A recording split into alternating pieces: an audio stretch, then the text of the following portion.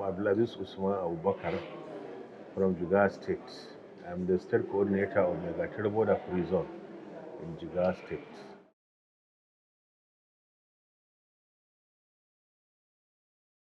Uh, Maigatari Border Free was established under the Authority Decree of 63 of 1992 and it is clearly demarcated duty-free area having close proximity with the Nigerian border and opportunities by being close to the Nigerian border.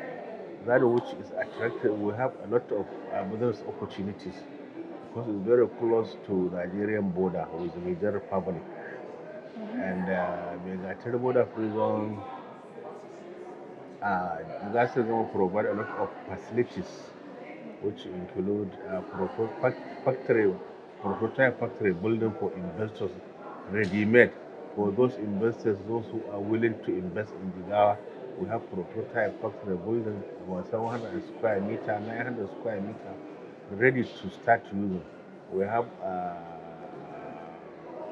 industrial clinic, we have custom office, we have industrial uh, immigration office, police, admin block, motel for investors, we have radio stations, we have container terminal, we have road, there is a lot of facilities.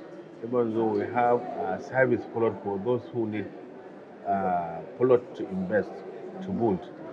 Maigatari border prison is 2.2 kilometers square, space one.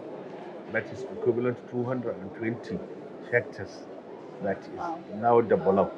There is phase two, about 700 and 570 hectares, which is undeveloped.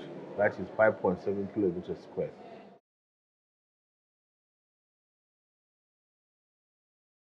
This course, uh, Sesame and the Gum Arabic, with available facilities uh, available in the free zone. Now, free zone can reach up to level of full operations because we can accommodate any investor that is willing to invest in sesame, gum arabic, and uh, hibiscus. We have even fumigation chamber there in Maigatari border zone. With all these facilities, now we are ready for full operation. This another opportunity we have for investors. We have accommodation for investors to come and relax. So I think this will provide, and we have security in the state. Mm-hmm. Uh, the transportation, we have a railway station which is about 20, uh, 20 45 kilometers from Gagarawa to Gatari.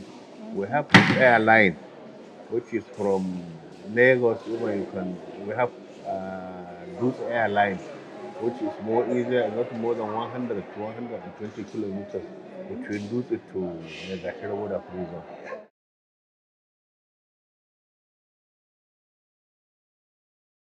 Well, uh, there are some organizations those who are renting warehouse to keep their products there. Even Jiga Invest, they have uh, their warehouse there now.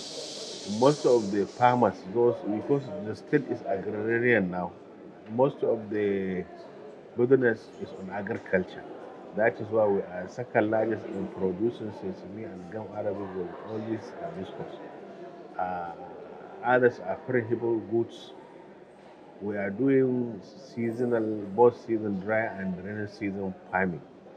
So most of the people, uh, they used to go and uh, hire the warehouse for keeping their products.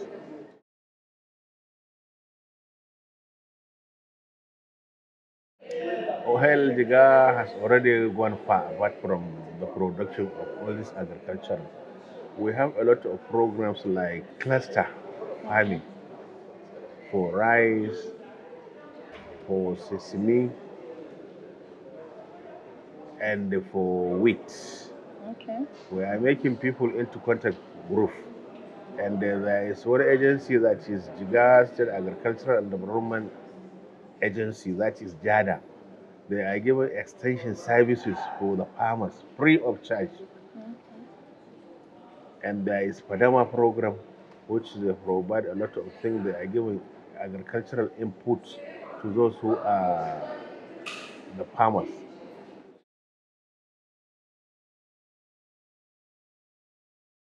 You know, Maigatari border prison, or when you talk of prison, it's just like an incubator of job creation. Mhm. It provides job. Uh, are you getting me? Yes. And uh, it generates, there is exchange of technology. Mhm. It increases foreign direct investment. Yes. You understand there's a lot of benefit. So once if there is a prison, there is wealth.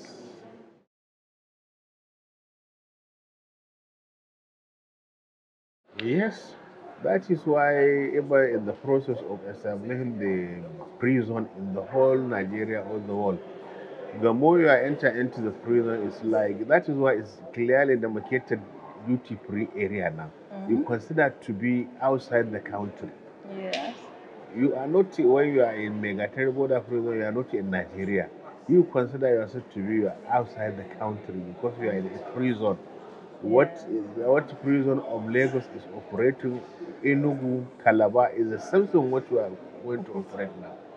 That's It's the same license we are acquiring.